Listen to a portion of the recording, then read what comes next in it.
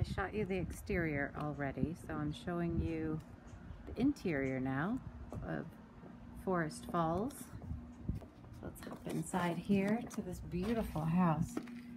Awesome tile entry. Uh, to our very right are the stairs that go upstairs.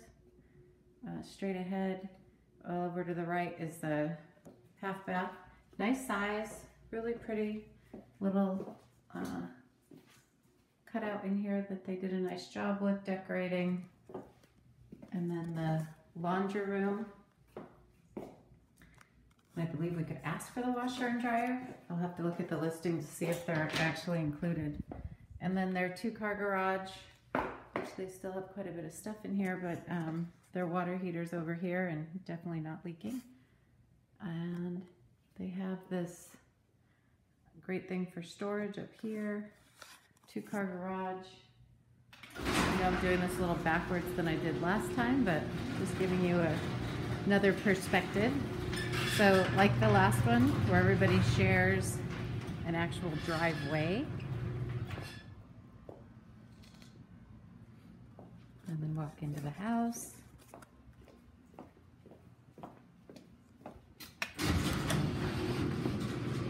I really like this house. So there's the front door. There's a closet here, so it's a nice deep closet. And then into the main living area, which has a beautiful floor. Really high ceilings, which is so unusual in a house with two stories. And then I wanted you to get a good picture what it all looks like. I don't feel like the pictures online did this house any justice. Um, so they have their TV over here. Great ceiling fans. Really nice touches in this home. Uh, the kitchen. So many cabinets. Beautiful. And the staggered tops is very popular uh, and definitely an upgrade. They've got the stainless steel sink, granite countertops, dishwasher, electric stove, microwave.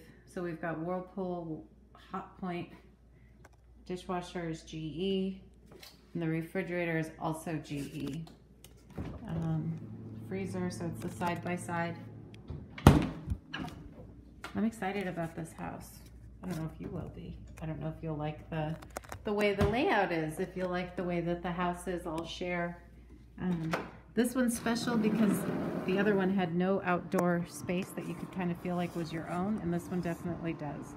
So it has a nice little patio um, to do, you know, some outside sitting and maybe crafts for kids. So it does have a little outdoor area that you can call your own on this one. And then kitchen again just beautiful, really clean, pretty house. And going up the stairs. Carpet's, it's okay. It's not top of the line, I don't think, but it's in good shape. Going up the stairs.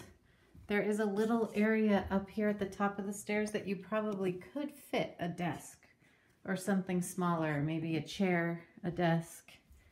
Not a huge space, but big enough to put something over there and they even have outlets. Okay, so we're in the upstairs hallway. To the left is the, I'll say kids bathroom, shower, tub.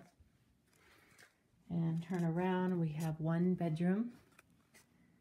Looks like it has probably a full size, maybe even a queen size bed in it. Closet. And right behind the bathroom is another bedroom closet here. You walk in, gorgeous ceiling fan. They just have a desk and a bed in here, closet. And there's that bedroom. And then the master bedroom, which isn't huge, but it's probably the only thing in this house that I would say surprised me. Um, that the master bedroom isn't bigger, but it's very functional into the master bath. Pretty tile, dual vanity. It's got um, walk-in closet with a window. Ample storage here. And then it has a nice clean shower and separate water closet. So I'll walk you out of this one so you can look one more time. Anything I might have missed, I'll try to grab it.